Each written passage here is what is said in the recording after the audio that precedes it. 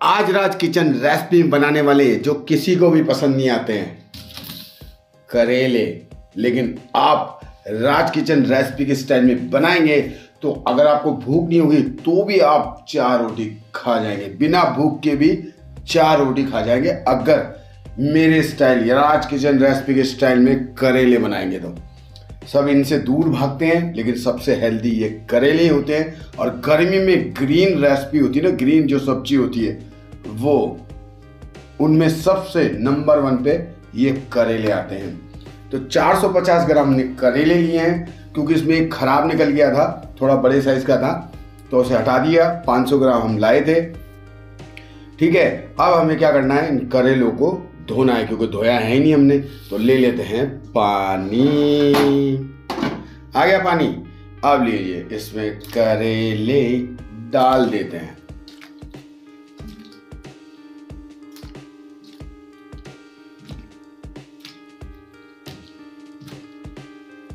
पूरे करेले इसमें डालकर इन्हें रगड़ रगड़ के धोना है। इस चीज़ का ध्यान रखें।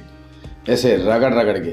क्योंकि आजकल क्या होता है कि सभी दवायाँ छिड़कते हैं इस पर केमिकल छिड़कते हैं पेस्टिसाइड छिड़कते हैं तो इसलिए रगड़ के धोना है। और यहाँ पर ये जो छाबड़ी है, देखिए, इसमें रगड़ रगड़ के धोकर डाल देना है। ऐसे एक एक करेला मस्त अच्छे से रगड़ना है। पूंछ भी रगड़ देनी है, चूहे वाली पूंछ भी रगड़ देनी है। पूंछ को काटना नहीं है, ये लीजिए इसी तरीके से सारे करेले धोने हमें हाँ बिल्कुल भी कड़वे नहीं लगेंगे, ये देखिए। अब इसमें थोड़े पके हुए भी हो सकते हैं। ये दीजिए इस तरीके से रगड़ रगड़ के धोना है। थोड़ा छिलका निकलेगा, कोई दिक्कत नहीं है, पर केमिकल घर वालों को नहीं खिलाना है। ये लीजिए। तो इसी तरीके से सारे करेले हम रगड़ रगड़ के धो लेंगे। अब इनका पानी हमें अच्छे से निकाल लेना है। और ये देखिए, यहाँ पे थोड़े छिलके निकल गए हैं। पानी भी काफ़ी गंदा हो गया है। तो करेले हमने निकाल दिए हैं। पानी में से उनका पानी निकालने देते हैं। और इतनी सारी सामग्री चाहिए। इतनी सारी तो नहीं है, ज़्यादा नहीं है। घर में सबके पास ये सामग्री मिलेगी मिलेगी। तो सबसे जो मेन सामग्री है, वो है दो। क्या है? सबसे पहले है प्याज। प्याज और सौंफ। प्याज और सौंफ नहीं होगी तो आपके करेले कन्फर्म कड़े बने, कड़वे बनेंगे। तो यहाँ पर हमने तीन मीडियम साइज़ की प्याज ली थी बारीक बारीक काट ली है। आधा चम्मच या एक चम्मच सौंफ लिए दरदरी कूटना है, साबुत से काम नहीं होगा। यहाँ पर हमने एक चम्मच हींग ली है, आप थोड़ी कम ले सकते हैं, ठीक? और यहाँ पर हमने लिए चार हरी मिर्च कच्ची वाली बारीक कटी हुई सी सॉल्ट लेंगे स्वाद अनुसार। यहाँ पर हमने दो मीडियम साइज़ के टमाटर लिए थे, जिनका बीज और छिलका निकाल दिया। बीज और छिलका बहुत नुकसान करते हैं, और इसकी जगह आप टमाटर का पेस्ट भी ले सकते हैं, पर बीज और छिलका निकाल कर पीसें। यहाँ पर हम लेंगे एक छोटा चम्मच तीखी वाली लाल मिर्च, एक बड़ा चम्मच कश्मीरी लाल मिर्च करीब एक छोटा चम्मच या आठ से दस पिंच हल्दी और साथ में लेंगे एक बड़ा चम्मच धनिया पाउडर, एक छोटा चम्मच राई के दाने, एक छोटा चम्मच जीरा, चटकारे के लिए काला नमक और अदरक और लहसुन कुटावा। किसमें? इमाम दस्ते में। तो हमने यहाँ पे ली थी करीब 40 कलियाँ लहसुन की और आधा इंच अदरक लिया था, इसमें कूट लिया है। और यहाँ पर हमने चढ़ा दी है कढ़ाई। कढ़ाई गर्म हो गई है। डाल देते इसमें आधा लीटर तेल। तेल गर्म होते ही क्या करना है? एक एक करके करेले डाल देने हैं।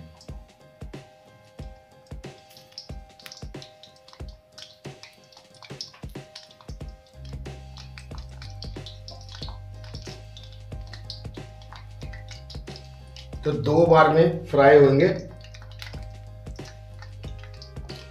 तो कितने आ गए सात आ गए हैं और हमारे पास बचे हैं छः और। तो इनको ऐसे ही रहने देंगे और इनको फ्राई करेंगे कितना? तीन मिनट। एक मिनट बाद देखिए ऐसे झाग आने लगेगा करेलों में। यानी झाग आया तो फिर पलटना है। और पलट कर दो से तीन मिनट बिल्कुल हाई फ्लेम पर। देखिए, गैस देखिए हाई फ्लेम पर है। हाई फ्लेम पर दो से तीन मिनट। तीन मिनट लगेंगे। तीन मिनट मस्त बढ़िया फ्राई करना है इनको। अब ये जो तेल है ना, ये औषधि बन गई। क्या बन गई? औषधि। अब जब भी आप कोई रेसिपी बनाओ तो ये तेल ज़रूर काम में ले। तो इससे क्या है करेले का जो स्वाद है और जो न्यूट्रिशन है, वो इसमें आ गए। अब जब आप इसके साथ में रेसिपी बनाएँगे तो क्या होगा? करेले के गुड़ घर वालों को मिल जाएँगे। वैसे आप करेले खिलाओगे तो नहीं, ऐसे बनाओगे तो वैसे खा लेंगे। लेकिन फिर भी अगर ऐसे नहीं बनाने तो बस ये तेल डाल दो। ये जो तेल जिसमें हम फ्राई करें करेले, ये तेल डाल दो। हाई फ्लेम पर तीन मिनट मस्त फ्राई करना है इनको। एक नंबर वाला। ये देखिए, अभी कितने बबल आ रहे हैं। जैसे ही ये बबल कम होंगे ना तो समझ लीजिए करेले मस्त फ्राई हो गए हैं। थोड़ा पलटते रहे बीच बीच में। अब देखिए तीन मिनट बाद क्या होगा? करेलों का जो हरा कलर है वो करीब करीब गायब हो जाएगा। देखिए अब इन करेलों को देखिए आप और इन करेलों को देखिए कितना फ़र्क है देखिए। तो तीन मिनट हो गए हैं अब इन्हें निकाल लेते हैं।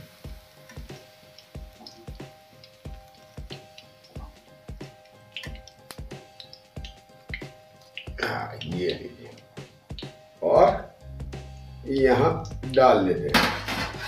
अब बाकी बचे हुए करेले भी फ्राई कर लेते हैं।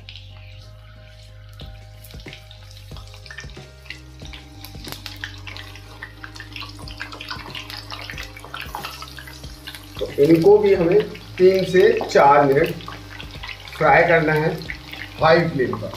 लो फ्लेम पे नहीं, और बीच बीच में चलाते रहें। तो पूरे तीन मिनट हो गए हैं, गैस को कर देते हैं बंद। और निकालना नहीं है। जब तक तेल ठंडा नहीं हो, जब तक इसे चला, इनको चलाते रहेंगे।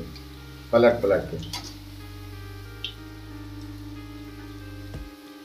जैसे ये झाग कम हो गए, जब ये करेले निकालने तो लीजिए, देखिए, झाग कम हो गए, अब इन्हें भी निकाल लेते हैं।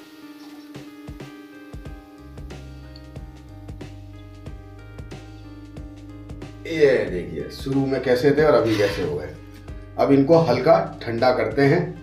तेल को उठाकर रख देते हैं। आपको ये लगे कि कड़वा हो गया है तो तेल को फेंक दें। मेरे नज़र में तो ना फेंकें, क्योंकि कोई भी आपकी रेसिपी ये तेल कड़वा नहीं करेगा बेनिफिट ही देगा। तो थोड़ा ये डाल दें, थोड़ा नया तेल डाल दें तो करेले के गुण मिल जाएँगे।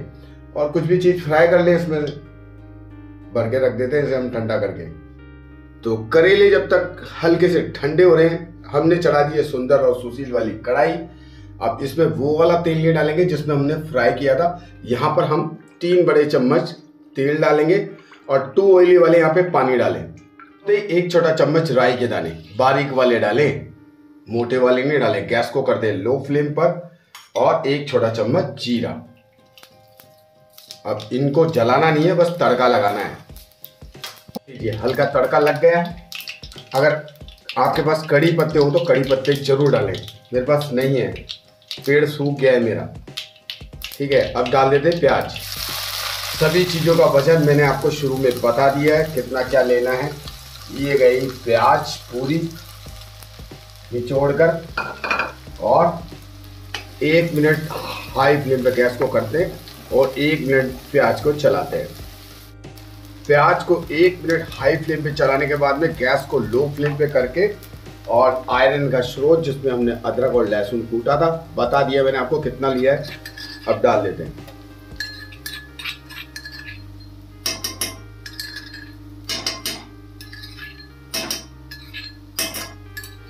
लहसुन को बस एक मिनट लो फ्लेम पे चलाना है।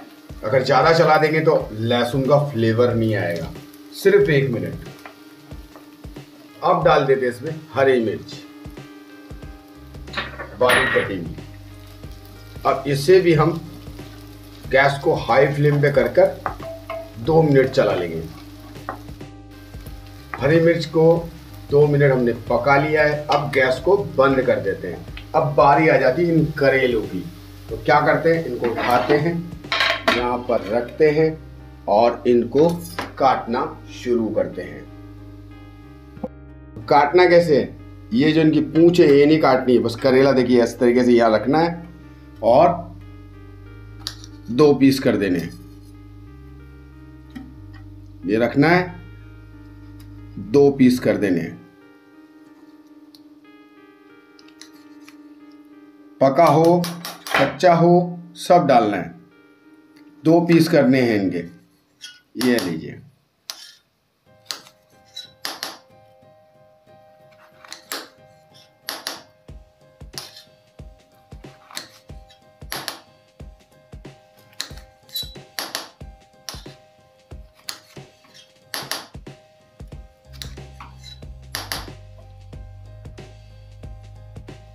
ये बड़ा है।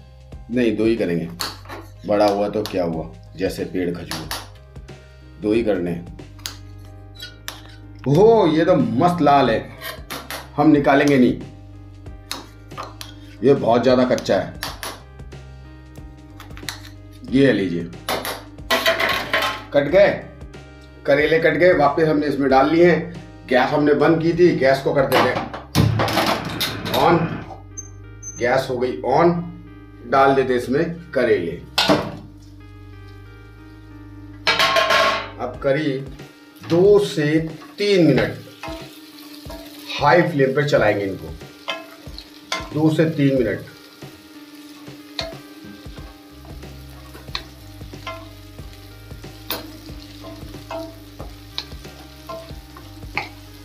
लेकिन उससे पहले क्या करेंगे? उससे पहले इसमें दो चीज़ें डालेंगे, वरना ये हो जाएँगे कड़वे तो हम इसमें आधा चम्मच तो काला नमक डाल देते हैं और आधा चम्मच ही सी सॉल्ट डाल देते हैं। आप स्वाद अनुसार ले सकते हैं, ज़्यादा की गुंजाइश नहीं है, बाद में चेक कर लें, मिला लेते हैं। और साथ में एक चीज़ ज़रूरी डालनी है क्या हल्दी, आठ से दस पिंच या एक छोटा चम्मच हल्दी। ये लीजिए, अब मिला लेते हैं। अब दो से तीन मिनट मस्त इसे, अब गैस लो फ्लेम पे कर देते हैं और लो फ्लेम पर करीब तीन मिनट चला लेंगे इनको। तो तीन मिनट हमने इन्हें लो फ्लेम पे चला लिया है। अब इसमें डाल देनी है हींग, सौंफ, दरदरी कुटी भी धनिया पाउडर, एक बड़ा चम्मच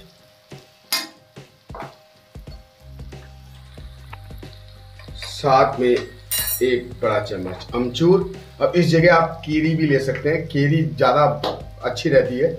और मेरे को मिली नहीं आज तो उसके लिए मैं आपसे माफ़ी चाहूँगा। और अब इन्हें वापस बिल्कुल लो फ्लेम पर एक मिनट चला लेते हैं।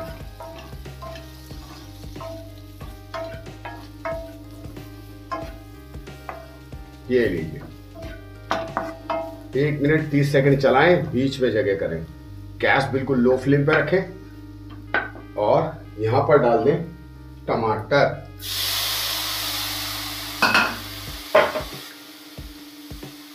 एक छोटा चम्मच मीट मसाला। स्वाद बढ़ा देगा आपके करालो करालो का नहीं, करेलो का सॉरी और साथ में डालेंगे इसमें एक छोटा चम्मच तीखी वाली लाल मिर्च और एक बड़ा चम्मच कलर के लिए कश्मीरी लाल मिर्च। तीखी नहीं होती है। बिल्कुल थोड़ा सा पानी। और अब यहाँ पर इसे चलाएँगे। थोड़ा सा इसको उबाली आने देते पानी थोड़ा कम हो गया है। वापस से थोड़ा पानी और डाल देते हैं। ये अब आप लोग कुछ जानकार हैं, वो बोलेंगे, करेले में पानी? कंफर्म कड़वे होंगे, नहीं होंगे। बना के देखना। पानी मैंने बीच में डाला है, करेलों में नहीं डाला है। अब उबाली आने देते इसमें। देखिए, उबाली आ गई है, अच्छे से अब मिला लेते हैं।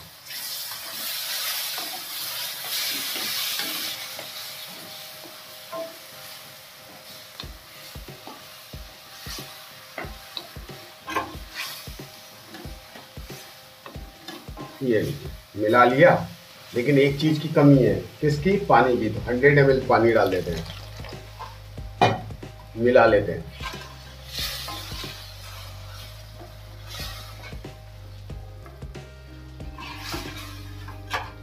मिला लिया। गैस को कर देते बिल्कुल लो फ्लेम पर और ढक्का रख देते हैं। कितना? तीन मिनट के लिए। अब तीन मिनट के इसको ढक रखते अब ऐसी सामग्री डालते हैं कि स्वाद बढ़ा देगी, मज़ा बढ़ा देगी। करेले आपने पहले ऐसे कभी खाए नहीं होंगे। तो यहाँ आ जाते हैं हम गैस पे। गैस को कर देते हैं। ऑन और एक पापड़ लेते हैं, मूंग दाल। बड़े साइज़ का। और इसको कर लेते हैं रोस्ट डाल के देखना एक बार आप। किसी भी रेसिपी में डाल दो। लास्ट में बन जाए, खराब बने, अच्छी बने, बस एक पापड़ डाल दो। आपकी रेसिपी ऐसी लाजवाब हो जाएगी। सच बता रहा हूँ मैं आपको, बस पापड़ को पूरा रोस्ट नहीं करना हल्का सा कच्चा रखना है। ये नहीं कि पूरा करकरा करा कर दो इसको, थोड़ा सा कच्चा भी रहना चाहिए आइट साइड में से। मतलब पूरा नहीं पकाना है, हल्का सा, बिल्कुल बिल्कुल हल्का सा ये देखिए, इतना सा रोस्ट कर लेना है, गैस को बंद कर देनी है। ये देखिए, इतना पापड़, देखिए यहाँ से कच्चा है, और यहाँ से देखिए, यहाँ से कच्चा है, ये आपको रखना है। को हल्का सा ठंडा करके इसका बना ले चूरा। जितना अच्छे से बनाएँगे, ये देखिए अच्छे से चूरा बना लें। आपके पास एकदम बिल्कुल छोटी वाली मिक्सी का जार हो ना तो उसमें पाउडर बना ले। वो ज़्यादा बढ़िया इफ़ेक्ट करेगा। तो मेरे पास बिल्कुल छोटा जार नहीं है तो मैं इस तरीके से हाथ से ही थोड़ी मेहनत करूँगा। थोड़ी एक्सरसाइज भी हो जाएगी। और थोड़ा दरदरा तो ज़्यादा मज़ा करेगा ये देखिए, इस तरीके से मस्त पाउडर बना लेना है। पाउडर तो नहीं है, दरदरा चूरा है। ये बना लिया। और ये देखिए, बन गया। अब आ गए यहाँ पे। टाइम हो गया पूरा। ढक्कन हटा लेते हैं। ओहो, गरम है। गैस को हाई फ्लेम पे करते हैं। और मिलाते हैं। थोड़ी सी लग गई है नीचे, चलाते हैं अगर नीचे लग जाए तो ज़्यादा कुछ कुर्चे नहीं, और डाल दे सीधा ये पाउडर और मिला लें। ये लीजिए, मिला लिया। देखिए, हल्का सा लगाया देखिए, हल्का सा बिल्कुल। अब 50 ग्राम बारीक कटा हुआ धनिया डाल देंगे और मिला लेंगे। बस, ये लीजिए। ये एक बार करेले की सब्ज़ी मेरे तरीके से बना के देखना। तो चलिए दोस्तों, आज के लिए इतना ही। रेसिपी पसंद आए तो वीडियो को लाइक करें, चैनल को सब्सक्राइब करें, घंटी पर दबा के ऑल नोटिफिकेशन सेलेक्ट करें। ऐसी रेसिपी पाने के लिए मेरे चैनल पर और भी काफ़ी रेसिपी उन्हें देखिए, बनाइए, खिलाइए और तारीफ़ आइए क्योंकि जो मज़ा खिलाने का है वो खाने का नहीं है। तो चलिए आज के लिए इतना ही। चलिए जो बनाया है, मस्त करेला मसाला यूनिक उसे खाकर खत्म करते हैं पूरी के साथ।